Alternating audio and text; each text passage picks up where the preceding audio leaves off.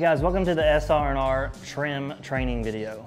What I have before me is a bunch of trim, everything that we work with on a daily basis. Um, everything from door casing to OG to handrail to deco for the cabinets. Um, so what we're gonna do is we're gonna go through some of this stuff in detail and then we're gonna show you a few cuts and um, you know, stuff that you're gonna use every day that you guys have asked questions about. Uh, we're just trying to hear, be here on film to answer all those questions for you. Um, okay, let's get started. Okay, the board I'm holding right here in my hand is a casing. For this goes on your doors. Um, I mean, that's the, the only thing you're gonna use on doors. You're also gonna use this on your dryer vents. Um, this piece right here is your baseboard. This is on a, a regular um, upgrade. The upgrade uh, board gets is longer. It's about five inches wide, but this is a standard that comes in most uh, houses these days that we build. This piece right here has this rounded over edge and it's flat. This is window stool. This is what goes in the bottom of the windows and they take a, take a piece of door casing, put underneath it, kind of like this. So it looks really nice and pretty. Um, this piece we have here next is crown molding and you can see how it does not end flat. It has these two grooves on it and so there's no flat edge on it anywhere. Um, this is the decorative molding that goes up on your ceilings uh, and the wall at the top. This is a shoe mold, regular shoe mold, and difference between regular shoe mold and deco shoe mold, which is this one over here, is regular shoe mold is prime white. The decorative shoe mold is going to be the color of the cabinets that are in the house, so that's a good thing to know. This little piece of trim is called lattice. It goes on the stair stringers. And on top of the stair stringers of the lattice piece goes OG. The OG piece sits upside down on the, on the lattice just like that. So, um, and this, this piece here is used on shadow boxes, it's used on stairs, it's used on uh, bar tops.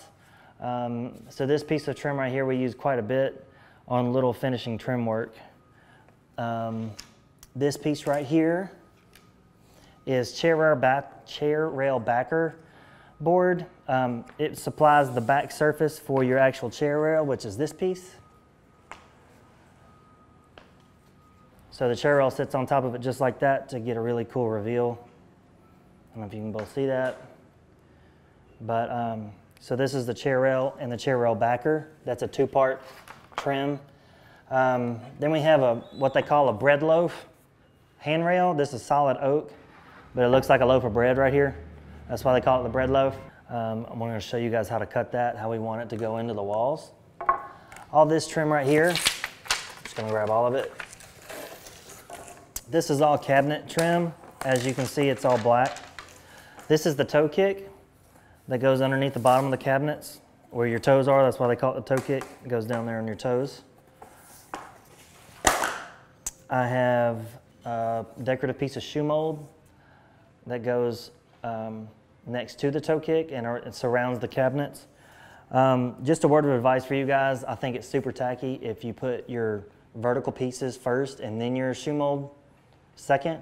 Always put your shoe mold around your house first and then around the cabinets first and then put the vertical pieces on because it's uh, really annoying. It looks terrible when you do that. Um, then we have a piece of scribe here that goes over the front flats and then we have a 45 degree angle piece that um, goes on the 45 degree corners for your for your cabinet island. This is the corner piece that goes on the outside edge. You see that corner.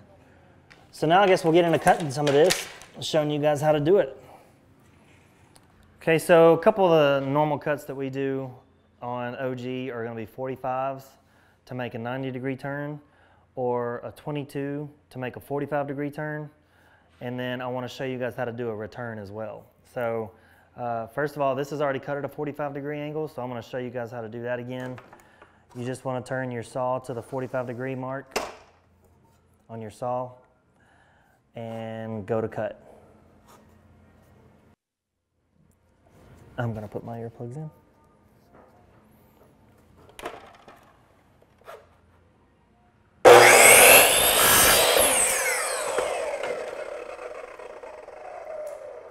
So we have a nice 45 degree cut. All right, so now if you wanted to make a 22 degree cut.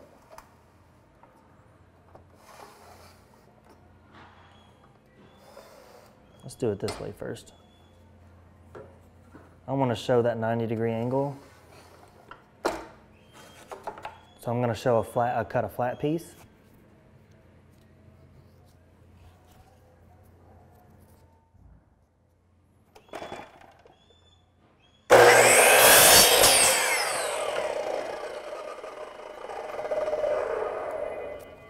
Okay, so we have a flat piece and then we're gonna make another 45 degree angle to the other side of that, which we'll have to do upside down.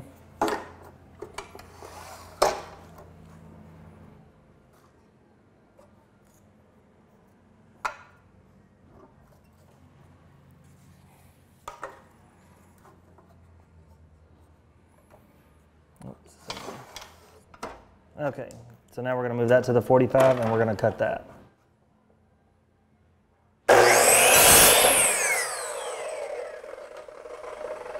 So now we have, that makes a 90 degree turn on an end.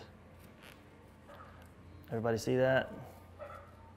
Okay, so now we're gonna make a 22 degree turn. So you just put it on 22.5.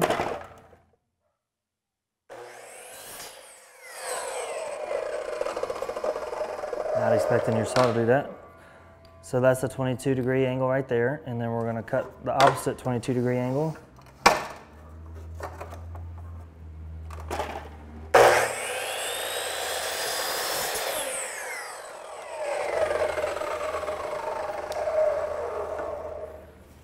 And now what you have is a 45 degree turn.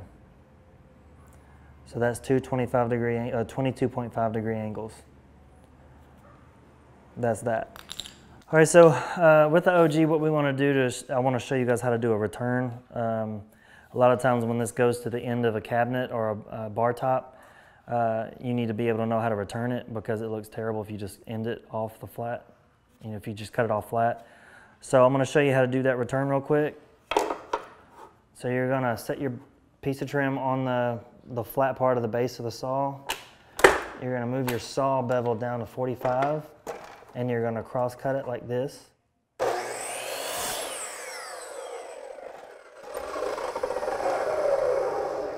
That gives you this open face piece right here going backwards, which is usually not what you want to do, but in this case you do. You're to bring your saw back up to zero and you're to cut it. You flip the piece of trim upside down so the upside down piece is flat against the bottom of the saw because you cut it like this a minute ago, so you're flipping it over and cutting it like this. This time you're going to cut it right along that flat edge.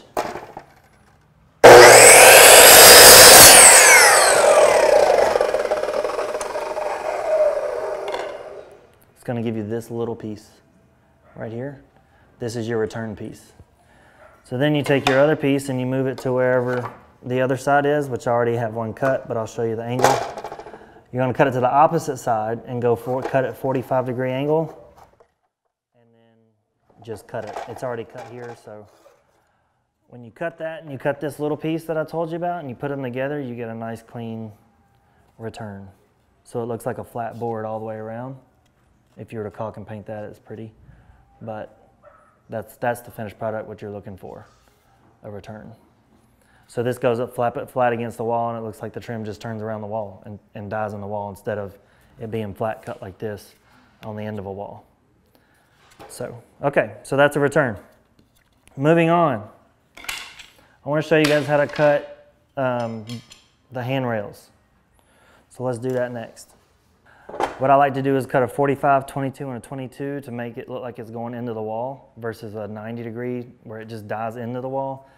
Um, so what you got to do to do that is you're going to set your bread loaf handrail on your saw and move it to a 45 degree angle and make that cut.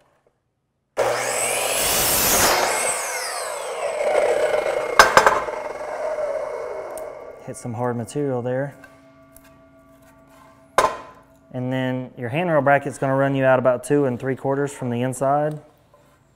So you're gonna measure that.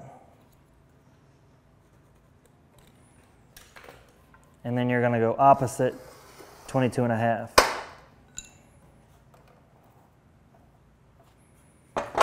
And then make that cut on that mark.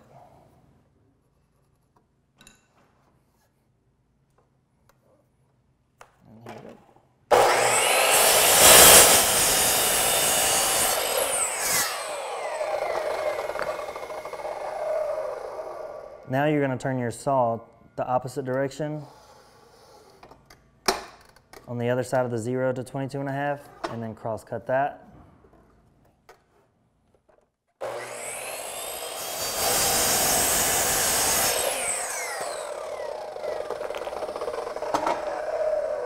When you put that together, you have a handrail that dies into the wall. So this part right here will be your wall.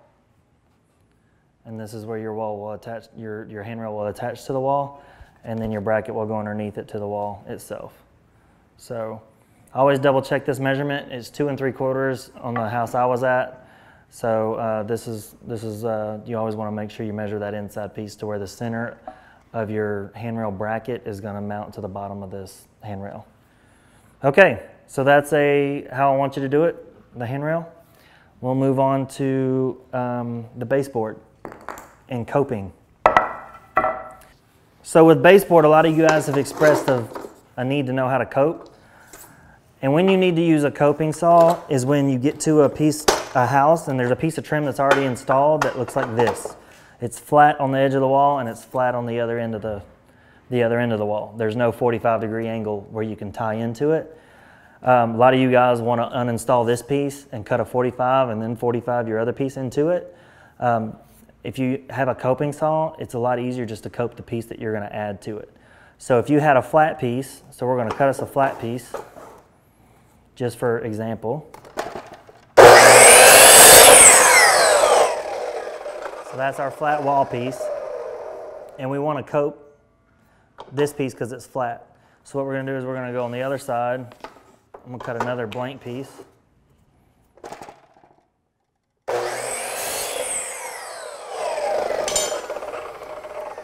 So I have this flat piece, so now I'm going to cut this on a 45 degree angle.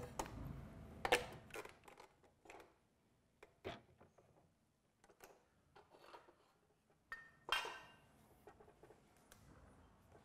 right, so here we go, 45 degree angle.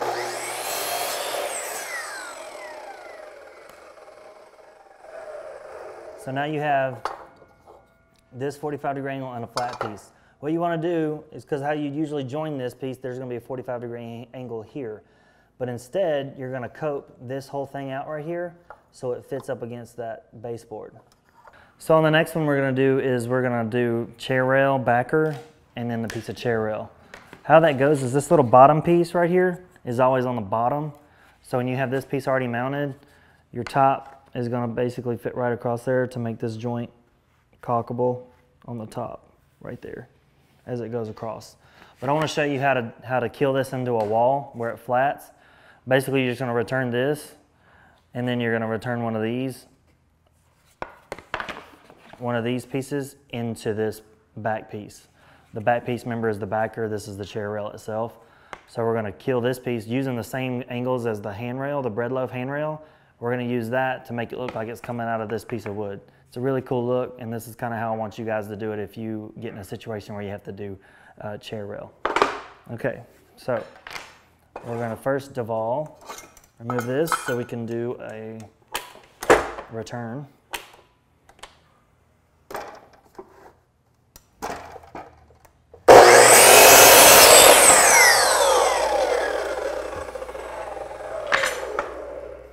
Okay.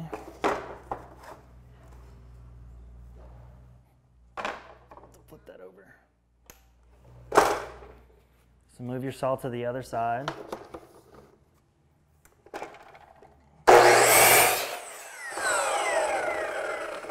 Cut that flat, flip it over, go back up to zero, and cut that flat angle back down.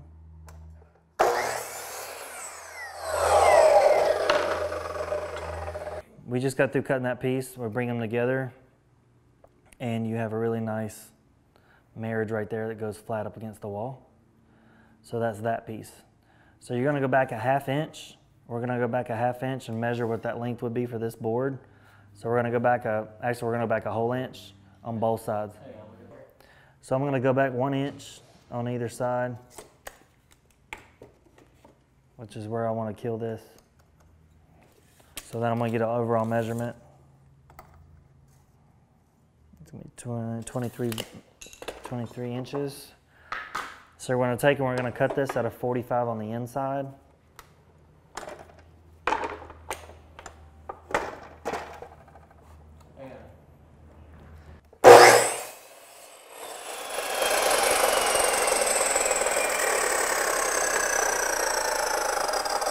So next we're gonna move this to a 22 degree angle and we're gonna cut this board down.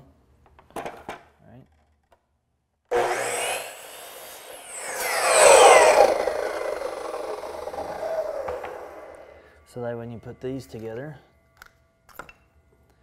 you can set that one down there like that. And then you take this top piece and you cut it down. You flip it back over and you cut it down at a 45 or a 22 degree angle again.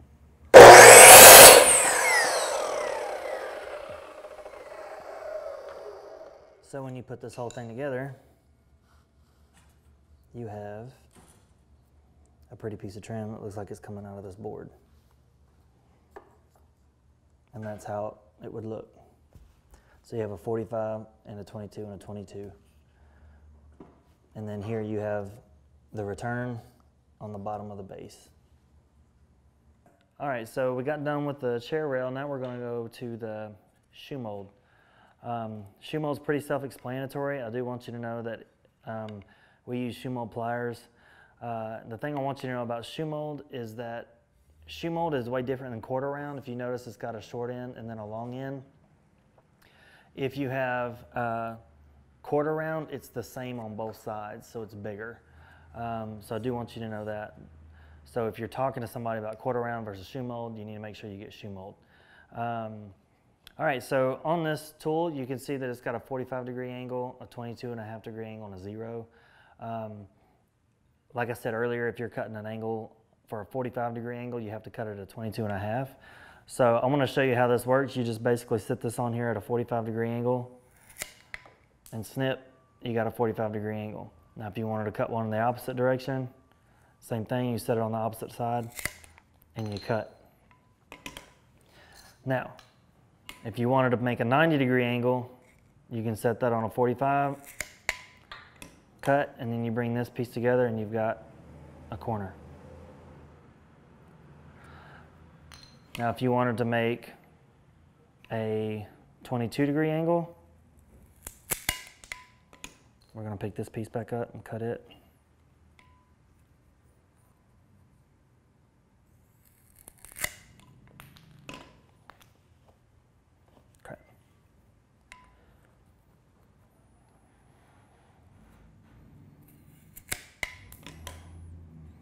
That's going to give you your 45 degree angle. So basically this thing's pretty self-explanatory. It's really cool. You don't even have to use your saw most of the time. You need to use, uh, all you need to use this really is a tape measure and a pencil.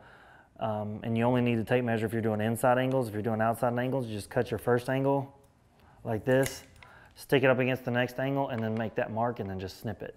So um, this one tool took two hours off of my day every day.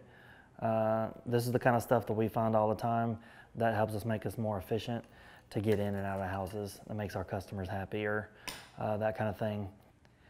Okay guys, well that concludes our trim training video. I hope you enjoyed it. I hope it was informative. I hope you got something out of it. Uh, if you have any questions, just see one of your leaders and we'll, we'll, uh, we'll answer those questions for you. And then um, we hope you can use this in the field every day. Appreciate it. Y'all have a great day.